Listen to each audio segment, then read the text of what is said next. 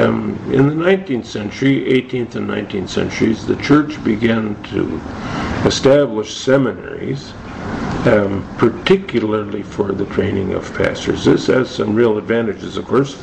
You can hire faculty, um, you can provide uh, a, a, curriculum of courses for students, um, but it has some real disadvantages too.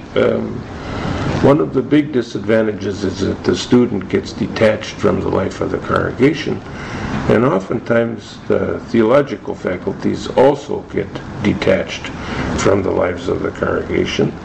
Um, the priority of ministry doesn't hold as it once did, or it gets reduced to a technique, a system of plans and projects that pastors can employ.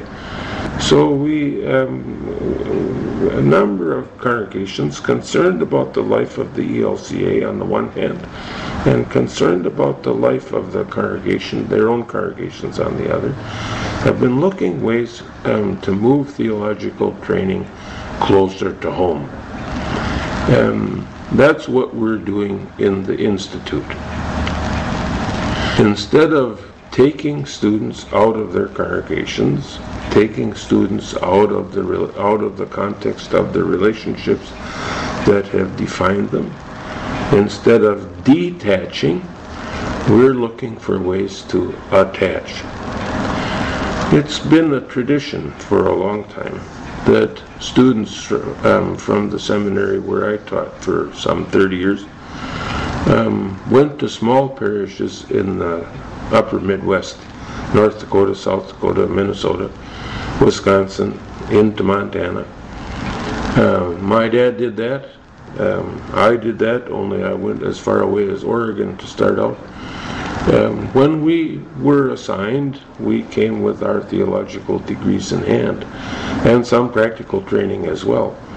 But we had to rely on the congregations to teach us. There are lots of congregations in the Dakotas, for example, eastern Montana, western Minnesota, who have had one seminarian after another as long as they can remember, usually for three or four years, and then another one. Those congregations have become teaching congregations. They know what to expect from a seminary graduate they know what they're going to have to teach a seminary graduate, and they know what it's going to take to make a preacher out of a seminary graduate. The congregations have been teaching the pastors, and so one pastor after another will talk about his or her first years in ministry. And those first years in ministry will be tied to a particular people in a particular place who have been teachers every bit as much as the seminary faculty was teachers.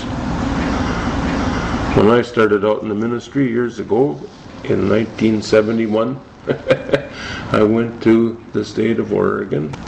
Four or five pastors took me under their wing, and they trained me in the ministry. They knew what I had and valued what I'd learned at the seminary, but they knew it was a long time before I was going to be a pastor. And so they went to work with them.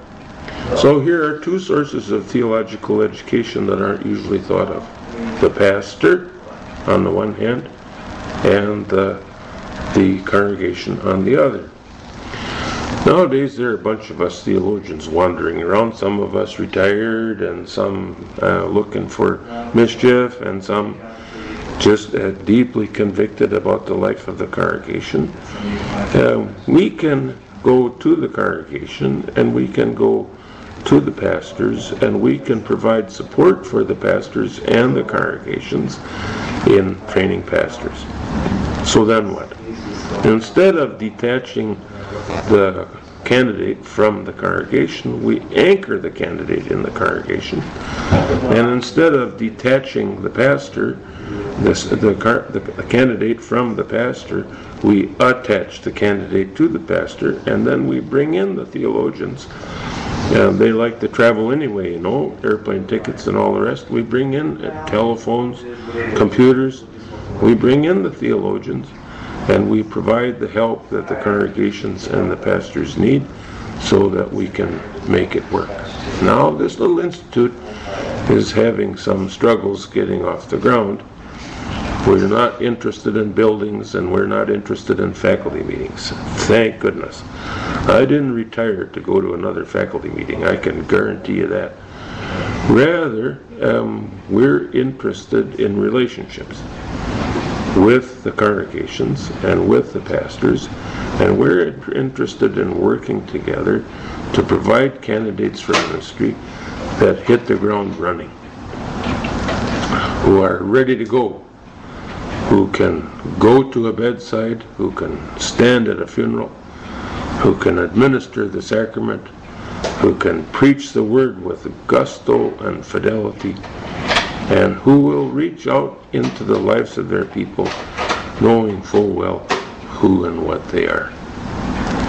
We're looking for students who can walk into a rural community with their feet on the ground, who can go into the inner city knowing what the shape of life is there, who can go into the suburbs um, with some expectancy and confidence. We're looking for candidates who will be first of all, loyal to Christ Jesus and to His Word.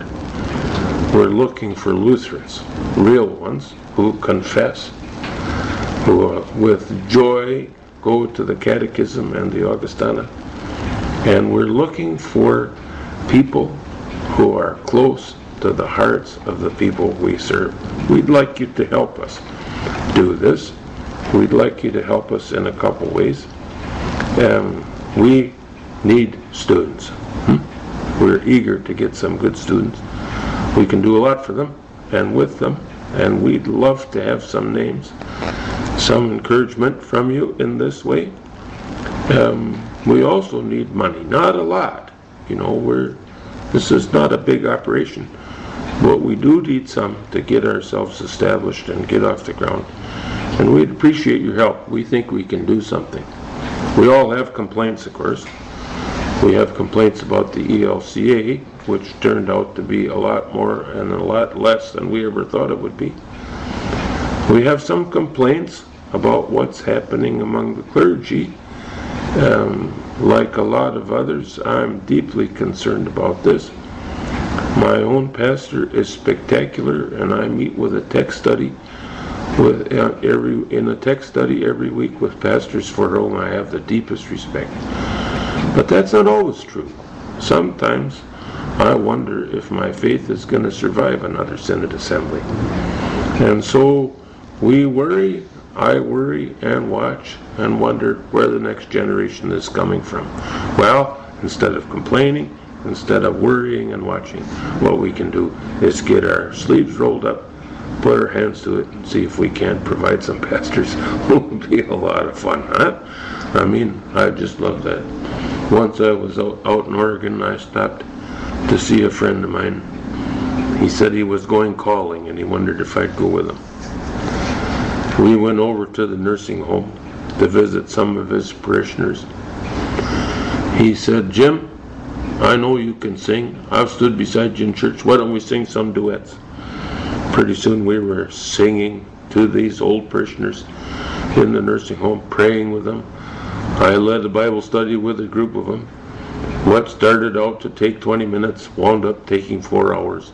We had a ball. Well, that's what preachers do when they fool around, you know.